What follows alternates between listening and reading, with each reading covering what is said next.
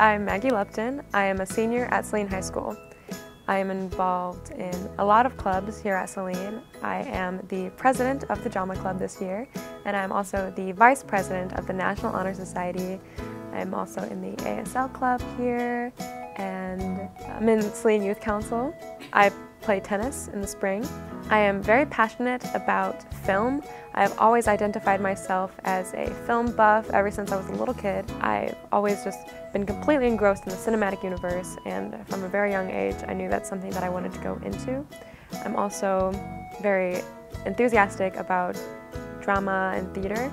Also, since I was a little kid, I've been in theater productions. I was with Area Players for a really long time, and I have been in SHS Drama Club all my four years of high school, and so I'm really excited to be the president this year. I actually wrote my college essay about, one of my college essays about how I did not get into the play or the musical. My freshman year, I auditioned, I felt devastated because going into high school, I told myself that this is what I was going to do. I was going to be a theater nerd. And then when I didn't get in, I was like, well, that stinks. Like, what am I going to do now? And so I just talked about how, like, I didn't give up. I kept on going to drama club, I got more involved, I volunteered a lot, and now I'm not only the lead in the school play this fall, I'm also the president of drama club this year. I also work in the writing center here at Saline. I'm a second year consultant and last year was our first year actually having a writing center. So I was one of the pioneers of this new part of our school and we help students that send in their papers and we also go into classrooms and help teachers with their classes and it's been a really great experience for me. I've learned a lot not only about English but also about being a leader and a helper to students and I really enjoy that feeling of helping people even if, if it's something as small as like a, an essay but that expands, expands out into I love volunteering in my community. That's why I'm so involved in um, National Honor Society and Saline Youth Council, which is also a volunteering thing. Other than that, I also volunteer through a couple different organizations. Like last summer and the summer before, the past two summers, I've gone to South Africa and worked in um, and spent a lot of time in an orphanage there. And that was an incredible experience that I'm so grateful for every day because it affects me every second of every day. Like I'll just look at pictures of my time there and I actually cried the other day just because I was remembering it.